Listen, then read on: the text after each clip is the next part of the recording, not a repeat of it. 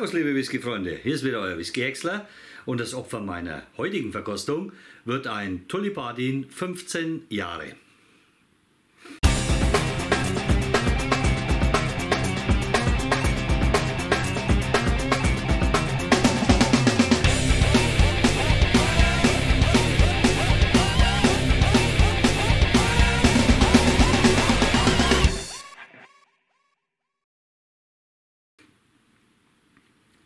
Tullibardin habe ich live im Video noch nicht gehabt, ist heute mein erster, aber privat schon einige getrunken. Ich meine, wir reden die ganze Zeit über Preisentwicklung und ähm, es gibt halt doch, neben Tamnavulin zum Beispiel, ähm, einige Distillerien, die eigentlich ein sehr, sehr ordentliches Preis-Leistungs-Verhältnis haben und dabei auch noch sehr ordentliche, teilweise sogar überraschend gute Single Malts produzieren.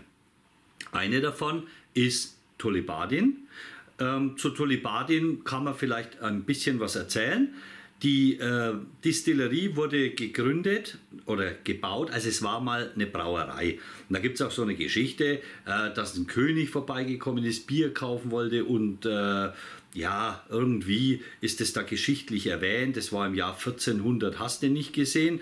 Mm, aber richtig umgebaut von der Brauerei in eine Distillerie wurde die Tullibardin Distillerie 1947. Ähm, da muss ich auch mal auf meinen Spickzettel ein bisschen schauen. Und zwar von William Dell Evans äh, ist das äh, umgebaut worden 1947. 1949 ähm, haben sie begonnen zu produzieren. Die Distillerie liegt in den Highlands und äh, zwar in Blackford, äh, Berkshire. Und der Name Tulibardin ist im Endeffekt eine Abhandlung oder bezeichnet ein in der Nähe liegendes Moor. Und zwar in der Nähe von Orchid Hills.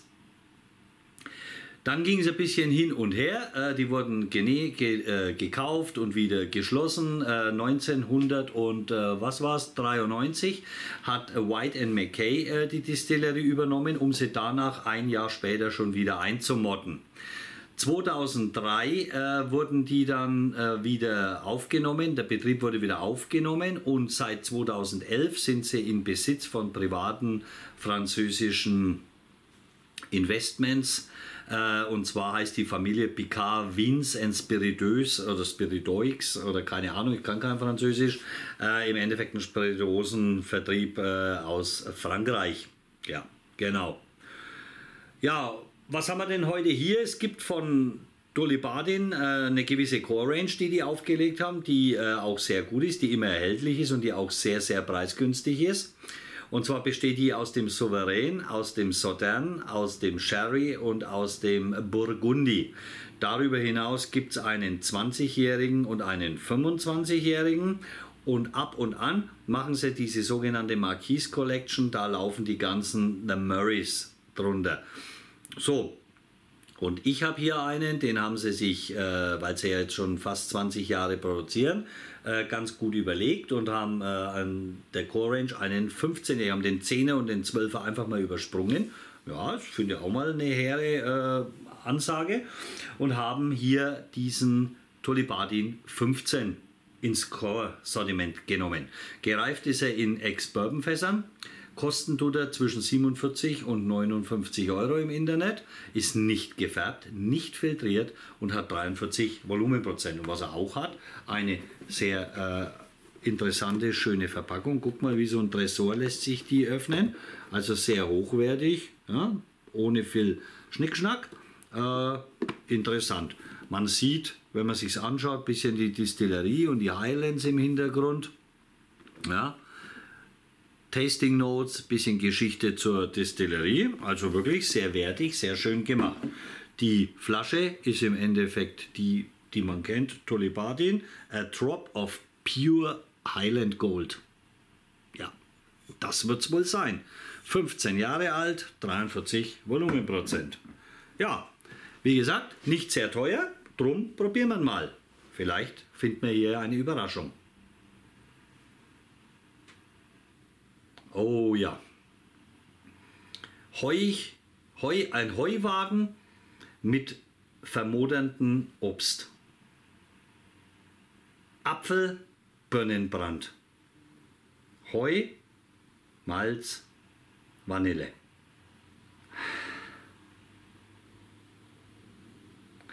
Leicht parfümiert.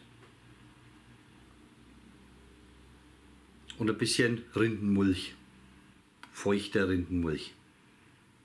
Also sehr fruchtig, kein Rauch, sehr fruchtig, aber volle Ladung Birne, Äpfel. Volle Ladung. Da kommt kaum was anderes durch.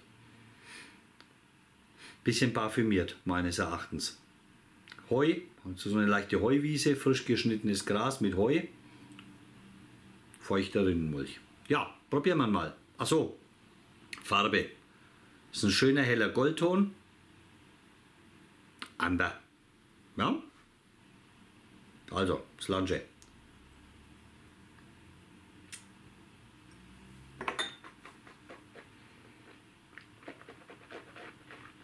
Hm? Hm. Hm. Hm.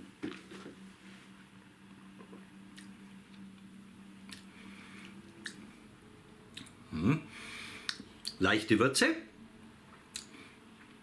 Auch da kommt was getreidig heuiges durch, was grasiges, weißer Pfeffer.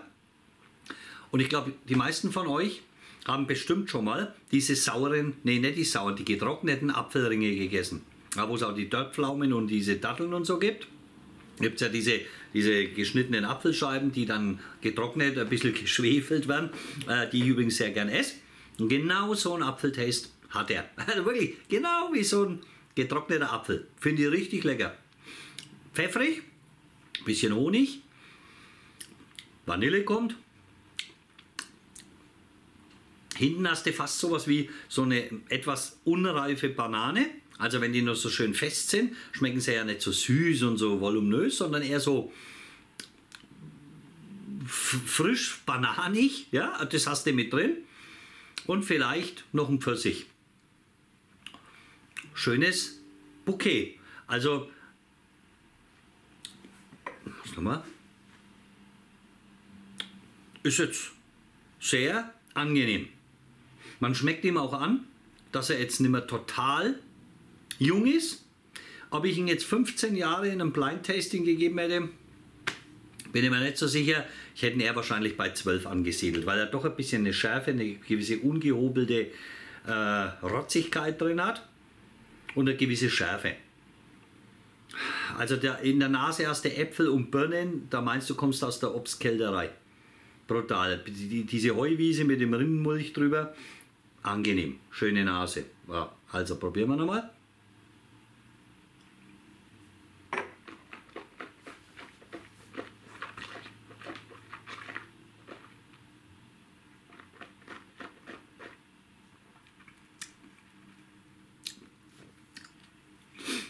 Wisst ihr, was der mich erinnert?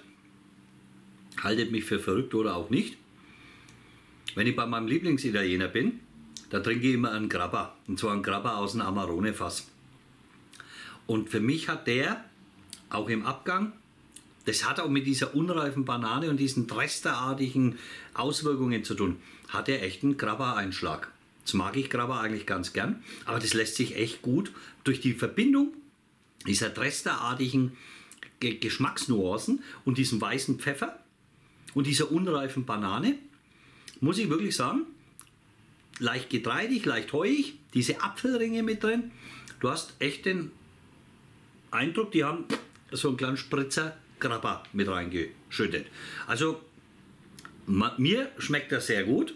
Er ist überraschend scharf, aber nicht unangenehm scharf. Pfeffrig scharf, ähm, was du einen 15-Jährigen im First Fill Sherry, äh, im First Fill Bourbon Fass gereiften eigentlich so nicht zutraust, weil du ja eher diese Vanille, Karamell, Toffee äh, erwartest. Das hat er nicht. Der hat eher eine fruchtige Komponente und hat vor allem dieses heuig-grasige und diesen leichten Grabbereinschlag mit der Prisen, Prise weißen Pfeffer.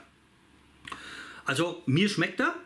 Ähm, überrascht mich auch ganz gut und für das äh, Preis-Leistungs-Verhältnis muss ich auch sagen, äh, ist das sicherlich einer, den man äh, weiterempfehlen könnte. Kommen wir mal zum Abgang. Abgang ist mittel.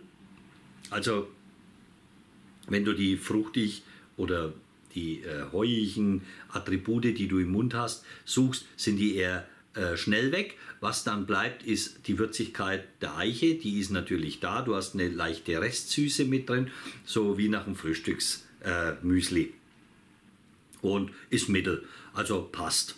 Wenn jetzt also man ein Fazit ziehen sollte, dann ist es ich würde es mal so umschreiben oder versuchen so zu umschreiben. Es ist ein unaufdringlicher Genuss für relativ kleines Geld.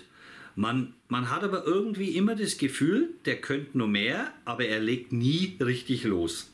Aber er fällt auch nicht ab. Also von daher,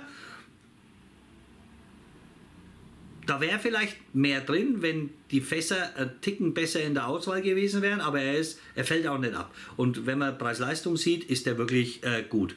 Er ist also für mich kein schlechter, aber auch kein großartiger Whisky. Aber das muss er vielleicht auch gar nicht sein. Ja, meine Lieben, das war's wieder von mir. Ich hoffe, euch hat es ein bisschen Spaß gemacht und äh, hat euch ein bisschen was gebracht.